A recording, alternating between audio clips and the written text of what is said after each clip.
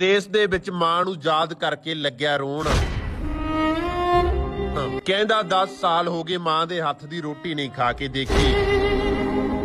ਤੋ ਵੀਡੀਓ ਨੂੰ ਸ਼ੇਅਰ ਜਰੂਰ ਕਰ ਦਿਓ ਤੇ ਦੋ ਸ਼ਬਦ ਇਹਨਾਂ ਪਰਦੇਸੀ ਵੀਰਾਂ ਦੇ ਲਈ ਵੀ ਲਿਖਿਓ। ਜਿਵੇਂ ਕਿਸੇ ਨੇ ਸੱਚੀ ਕਹਿ ਕੇ ਪਰਦੇਸੀਆਂ ਦੇ ਦੁੱਖ ਜਾਂ ਤਾਂ ਉਹ ਆਪ ਜਾਣਦੇ ਨੇ ਜਾਂ ਉਹਨਾਂ ਦੀਆਂ ਮਾਵਾਂ ਜਾਣਦੀਆਂ ਨੇ ਜਾਂ ਫਿਰ ਰੱਬ ਜਾਣਦਾ ਹੈ। ਉਸੇ ਤਰ੍ਹਾਂ ਹੀ ਇਹ ਵੀਰ ਡੌਂਕੀ ਲਗਾ ਕੇ ਅਮਰੀਕਾ ਗਿਆ ਸੀ। ਪਰ ਜਿਵੇਂ ਕਿ ਸਾਰਿਆਂ ਨੂੰ ਹੀ ਪਤਾ ਕਿ ਅਮਰੀਕਾ ਦੇ ਵਿੱਚ ਛੇਤੀ ਪੀਆਰ ਨਹੀਂ ਮਿਲਦੀ, ਜਿਸ ਕਾਰਨ ਨੌਜਵਾਨ ਘਰਾਂ ਨੂੰ ਵਾਪਸ ਨਹੀਂ ਆ ਪਾਉਂਦੇ। ਉਸੇ ਤਰ੍ਹਾਂ ਹੀ ਇਹ ਵੀਰ ਅਮਰੀਕਾ ਦੇ ਵਿੱਚ ਰਹਿੰਦੇ 10 ਸਾਲ ਦੇ ਲਗਭਗ ਸਮਾਂ ਹੋ ਚੁੱਕਿਆ ਤੇ ਹਾਲੇ ਤੱਕ ਇਹ ਵੀਰ ਆਪਣੇ ਘਰ ਵਾਪਸ ਨਹੀਂ ਗਿਆ। ਪਰ ਘਰ ਦੀਆਂ ਯਾਦਾਂ ਇਸ ਨੂੰ ਹਰ ਪਲ ਵੱਡ-ਵੱਡ ਖਾਂਦੀਆਂ ਰਹਿੰਦੀਆਂ ਨੇ। ਇੱਕ ਸ਼ਾਮ ਜਦੋਂ ਇਹ ਰੋਟੀ ਖਾ ਰਿਹਾ ਸੀ ਤਾਂ ਅਚਾਨਕ ਹੀ ਰੋਟੀ ਖਾਂਦਾ ਖਾਂਦਾ ਰੋਣ ਲੱਗ ਪਿਆ। ਨਾਲ ਦੇ ਸਾਥੀ ਨੇ ਇਸ ਦੀ ਵੀਡੀਓ ਬਣਾ ਲਈ ਤੇ ਨਾਲ ਹੀ ਪੁੱਛਿਆ ਕਿ ਤੂੰ ਰੋ ਕਿਉਂ ਰਿਹਾ? ਤਾਂ ਇਸ ਪਰਦੇਸੀ ਵੀਰ ਨੇ ਕਿਹਾ ਕਿ ਮੈਨੂੰ ਆਪਣੀ ਮਾਂ ਦੀ ਬਹੁਤ ਯਾਦ ਆ ਰਹੀ ਹੈ। 10 ਸਾਲ ਹੋ ਗਏ ਮੈਂ ਆਪਣੀ ਮਾਂ ਦੇ ਹੱਥ ਦੀ ਰੋਟੀ ਨਹੀਂ ਖਾ ਕੇ ਦੇਖੀ। ਸੁਣੋ, ਇਸ ਵੀਰ ਨੇ ਕੀ ਕਿਹਾ ਤੇ ਵੀਡੀਓ ਨੂੰ ਸ਼ੇਅਰ ਵੀ ਕਰ ਦਿਓ।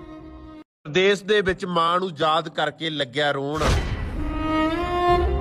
ਕਹਿੰਦਾ 10 ਸਾਲ ਹੋ ਗਏ ਮਾਂ ਦੇ ਹੱਥ ਦੀ ਰੋਟੀ ਨਹੀਂ ਖਾ ਕੇ ਦੇਖੀ।